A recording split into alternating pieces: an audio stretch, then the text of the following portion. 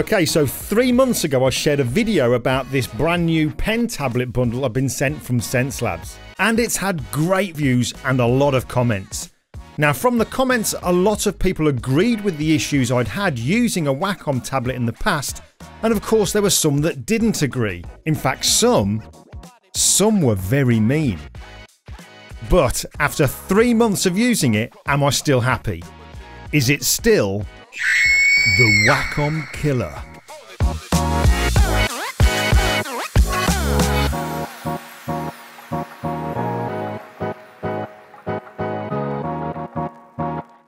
Now just to set things straight, although I wasn't asked or paid to do that first video, Xencelabs did send me the pen tablet bundle which I didn't need to send back. So making sure that I stick to YouTube's terms and conditions, that does make it fall under paid promotion which is why you'd have seen the notice at the start of the video in the top left hand corner.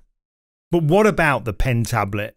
The whole package is working really well, but let's answer some of the questions that came up. Using the pen on the tablet feels great. It feels connected to the surface of the tablet and it moves freely. And the surface is standing up to being used a lot, really well. There doesn't appear to be any lag from me moving the pen to the movement on the screen. Now, although this is a wireless pen tablet, you don't have to use it that way. Some folks said they didn't want to keep charging it. Well, you don't have to. You can just plug it in with a provided cable like I do and leave it there. To use it wirelessly, you do need to have the dongle plugged in for the Bluetooth, which, as I said in the first video, is Bluetooth 5, which is peer to peer, unlike Wacom at the time of recording this using Bluetooth 4 point something, which isn't peer to peer, so can be affected by nearby Bluetooth devices. Now, there's a lot of fine tuning and customization you can do to both the tablet and the pen in the Xencelabs driver. So, for example, here I can assign functions to each of the buttons and the eraser. I can also use this slider here to control how hard or soft I need to press down when using the pen to change how the pen reacts. I can set the pen to soft, so when I then click on advanced settings and try it out in this section on the right, just a slight amount of pressure gives me something like this. But if I set the pressure to heavy, then when I go to advanced settings and use the pen, just a small amount of pressure gives a very thin line, but the harder I press down, the thicker the line becomes. I can fine tune that even further by manually adjusting this curve. So that's pretty cool. I can make the same adjustments to the eraser at the top of the pen. So with pressure sensitivity in the middle, when I use it to erase this area here, this is the result. If I set it to soft and then use the eraser, you can see that just a slight amount of pressure is very effective. But if I set it to heavy and press lightly, it erases like this. But the harder I press, the more effective the eraser. I can also control the amount of the pen tilt to give even more control. Oh, and I'm getting very little, if any, wearing down of the pen nib despite using it every day. So yeah, lots of options available so that you can get the pens to work and behave how you want them to. Now, some people asked about barrel rotation like you can with the Wacom Art Pen. Well, neither the Xencelabs 3 button pen or the thin pen have that. Actually, Wacom no longer sell the Art Pen and it's not supported on their newer devices. But as for Xencelabs releasing one, I guess watch this space. Now, in the first video, this made some people get really defensive, but to be honest with you, I still stick with what I originally said. By default, the Xencelabs tablet is set to 16 by 9 aspect ratio, and no matter what you say, the vast majority of the displays currently out there are 16 by 9 ratio. Now, if you have a 16 by 10 ratio display, all you do is choose the screen ratio option in the Xencelabs driver and it automatically sets to 16 by 10. And yes, I know with Wacom you could choose force proportions if you had a 16 by 9 display. But doing that made a certain amount of the tablet area completely unusable because their tablets are made 16 by 10. But force proportions? Who the heck came up with that for a name? I'm a bad boy. I'm now using my iPad Pro as a second display, and like using a regular additional display, it's really simple to set up in the driver.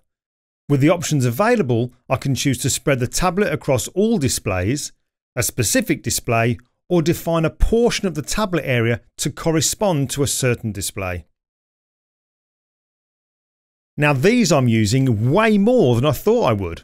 I've got the buttons and scroll wheel set to specific functions depending on what app I'm using, but I even use it for browsing websites, rotating the scroll wheel to move up or down the page I'm looking at.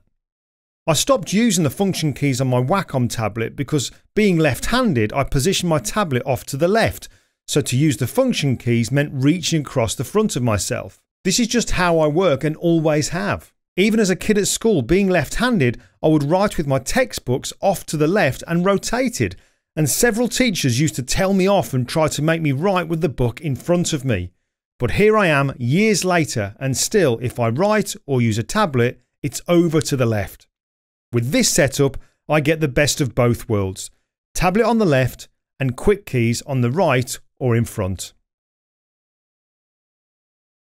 Well, it's all about choice, and not everybody wants to have a screen or something like a Cintiq. And did Wacom release the Cintiq straight away? Now, there will always be alternative products and cheaper products, and that's great, but let's just compare the price of the Xencelabs bundle to the equivalent Wacom. At the time of recording this, on Amazon, the Xencelabs bundle, which includes the medium tablet, two pens, spare nibs, the quick keys plus other stuff costs £280.49 pence.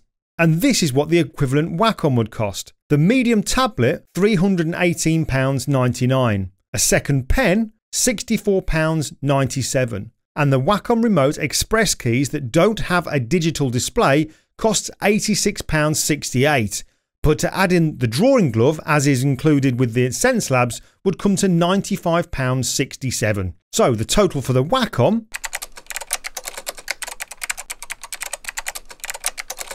£479.63 pence. Now the Xencelabs bundle includes a carry sleeve which I didn't add into the Wacom cost. So the Wacom would actually cost around another £20 on top. So £499.63 compared to £280, 49 pence. So there you go, that's three months of using the pen tablet bundle from Xencelabs and also answering some of the questions and comments that came in from the very first video. Now in those comments there were people mentioning other products that they were using and that's great. One in particular I think was the XP pen. I've had a look at that, looks fantastic and if that's what works for you and it's affordable then great. You know, ultimately, there will always be other products out there available for us and we'll have our own preferences. But we'll always be the winners because while companies are fighting to be the best and producing this stuff, we're the ones that get to use it. What I'm not doing in this video or the previous video is kind of saying, this is what I choose to use and why you made the wrong decision. Far from it. If you've got something that you love, stick with it. That's what it's all about. But that's all I have for this video, so give us a thumbs up and as always click on the subscribe button because it's just a great free way that you can support this channel. But for now that's me, I'm done. I'll see you in the next video.